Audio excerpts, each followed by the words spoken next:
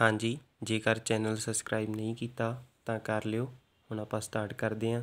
Ready start ਮਾਵਾਂ ਦੋ ਪਲ ਭਰ ਲਈ।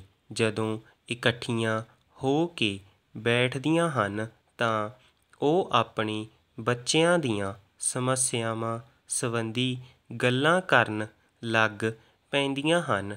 ਡੈਂਡੀ ਇੱਕ ਨੂੰ ਸ਼ਿਕਾਇਤ ਹੈ ਕਿ ਉਸ ਦਾ ਬੱਚਾ ਅੰਗੂਠਾ ਚੂਸਣਾ ਨਹੀਂ ਹਟਦਾ ਜਦੋਂ ਕਿ ਦੂਜੀ ਨੂੰ ਗਿਲਾ ਹੈ ਕਿ ਉਸ ਦਾ ਬੱਚਾ ਦਿਨ ਬ ਦਿਨ ਸ਼ਰਾਰਤੀ ਹੁੰਦਾ ਜਾ ਰਿਹਾ ਹੈ। ਡੈਂਡੀ, ਹਰ ਸਮੇਂ ਰੋਂਦਾ ਰਹਿੰਦਾ ਹੈ। ਡੈਂਡੀ, ਇਸ ਸੰਬੰਧੀ ਭੋਲੀਆਂ ਮਾਵਾਂ ਨੂੰ ਇਹ ਪਤਾ ਨਹੀਂ ਕਿ ਦੋਵੇਂ ਬੱਚੇ ਈਰਖਾ ਦਾ ਸ਼ਿਕਾਰ ਹੋ ਗਏ ਹਨ। ਡੈਂਡੀ, ਈਰਖਾ ਦਾ ਅਨੁਭਵ ਦੋ ਸਾਲ ਦੀ ਉਮਰ ਵਿੱਚ ਹੀ ਹੋ ਜਾਂਦਾ ਹੈ। ਡੈਂਡੀ, ਬੱਚਾ ਛੁਪਾਉਣ ਦੀ ਕੋਸ਼ਿਸ਼ ਨਹੀਂ ਕਰਦਾ। ਡੈਂਡੀ, ਉਹ ਕਿਵੇਂ ਨਾ ਕਿਵੇਂ ਇਸ ਨੂੰ ਪ੍ਰਗਟ ਕਰ ਦਿੰਦਾ ਹੈ। ਡੈਂਡੀ, ਬੱਚਾ ਈਰਖਾ ਕਿਸੇ ਨਾਲ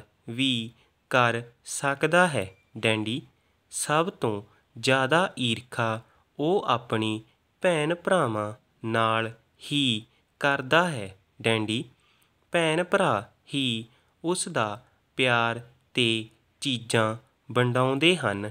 ਡੈਂਡੀ, ਘਰ ਵਿੱਚ ਨਵੇਂ ਬੱਚੇ ਦੇ ਆਉਣ ਨਾਲ ਹੀ ਈਰਖਾ ਸ਼ੁਰੂ ਹੋ ਜਾਂਦੀ ਹੈ। ਡੈਂਡੀ, ਮਾਪੇ ਨਵਜੰਮੇ ਬੱਚੇ ਵੱਲ ਵਧੇਰੇ ਰੁਚੀ ਤੇ ਧਿਆਨ ਦੇਣਾ ਸ਼ੁਰੂ ਕਰ ਦਿੰਦੇ ਹਨ। ਡੈਂਡੀ, ਇਹ ਗੱਲ ਹੈ ਵੀ ਕੁਦਰਤੀ ਕਿਉਂਕਿ ਨਵਜੰਮਿਆ ਬੱਚਾ ਵਧੇਰੇ ਸੰਭਾਲ ਦੀ ਮੰਗ ਕਰਦਾ ਹੈ। ਡੈਂਡੀ, ਬੱਚਾ ਮਾਪਿਆਂ ਦੇ ਨਵਜੰਮੇ ਬੱਚੇ ਵੱਲ ਵਿਹਾਰ ਨੂੰ ਆਪਣੇ ਨਾਲ ਵਿਤਕਰਾ ਸਮਝਦਾ ਹੈ। ਡੈਡੀ, ਮਾਂ ਆਪਣਾ ਵਧੇਰੇ ਸਮਾਂ ਛੋਟੇ ਬੱਚੇ ਨਾਲ ਗੁਜ਼ਾਰਦੀ ਹੈ। ਡੈਡੀ, ਵੱਡਾ ਬੱਚਾ ਛੋਟੇ ਬੱਚੇ ਨਾਲ ਈਰਖਾ ਕਰਨ ਲੱਗ ਜਾਂਦਾ ਹੈ। ਡੈਡੀ ਉਸ ਨੂੰ ਛੋਟੇ ਬੱਚੇ ਦੀ ਹੋਂਦ ਚੰਗੀ ਨਹੀਂ ਲੱਗਦੀ। ਡੈਡੀ, ਆਪਣੇ ਪਿਆਰ ਦੇ ਖੁਸ਼ ਜਾਣ ਦਾ ਕਾਰਨ ਉਹ ਨਵਜੰਮੇ ਬੱਚੇ ਨੂੰ ਹੀ ਸਮਝਦਾ ਹੈ ਅਤੇ ਉਸ ਵਿੱਚ ਈਰਖਾ ਪੈਦਾ ਹੋ ਜਾਂਦੀ ਹੈ। ਡੈਂਡੀ, ਉਹ ਰੋਂਦਾ ਹੈ। ਡੈਂਡੀ, ਰੋਟੀ ਵੀ ਨਹੀਂ ਖਾਂਦਾ, ਸ਼ਰਾਰਤਾਂ ਕਰਦਾ ਹੈ। ਡੈਂਡੀ, ਤੋਤਲੀ ਜਵਾਨ ਵਿੱਚ ਗੱਲਾਂ ਕਰਨ ਦੀ ਕੋਸ਼ਿਸ਼ ਕਰਦਾ ਹੈ ਅਤੇ ਉਸ ਦਾ ਮੁੱਖ ਮਨੋਰਥ ਮਾਪਿਆਂ ਦਾ ਧਿਆਨ ਆਪਣੇ ਵੱਲ ਖਿੱਚਣਾ ਹੁੰਦਾ ਹੈ।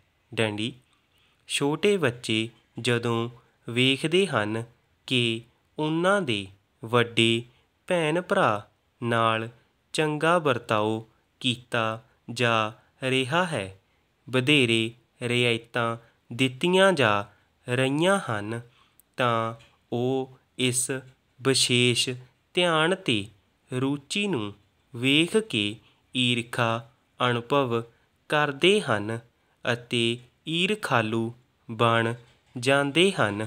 ਡੈਡੀ, ਕਈ ਵਾਰ ਤਾਂ ਛੋਟਾ ਬੱਚਾ ਬਿਮਾਰ ਹੋ ਜਾਂਦਾ ਹੈ। ਡੈਡੀ, ਮਾਪਿਆਂ ਵਿੱਚ ਘਬਰਾਹਟ ਤੇ ਬੇਚੈਨੀ ਪੈਦਾ ਹੋ ਜਾਂਦੀ ਹੈ। ਡੈਡੀ, ਉਹ ਡਾਕਟਰ ਵੱਲ ਭੱਜਦੇ ਹਨ, ਬੱਚੇ ਨੂੰ ਦਵਾਈ ਦਿੰਦੇ ਹਨ। ਡੈਡੀ, ਬੱਚਾ ਮਾਪਿਆਂ ਦੇ ਇਸ ਵਰਤਾਓ ਤੇ ਵੀ ਈਰਖਾ ਕਰਦਾ ਹੈ। ਡੈਡੀ, ਪੈਰਾ ਮਾਪੇ ਥੋੜ੍ਹੀ ਜਿਹੀ ਸਾਵਧਾਨੀ ਵਰਤ ਕੇ ਬੱਚਿਆਂ ਵਿੱਚ ਪਈ ਇਸ ਈਰਖਾ ਨੂੰ ਘੱਟ ਕਰ ਸਕਦੇ ਹਨ।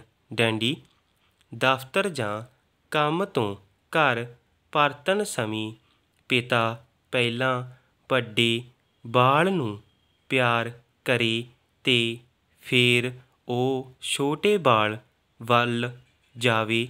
ਡੰਡੀ, ਸਟੋਪ।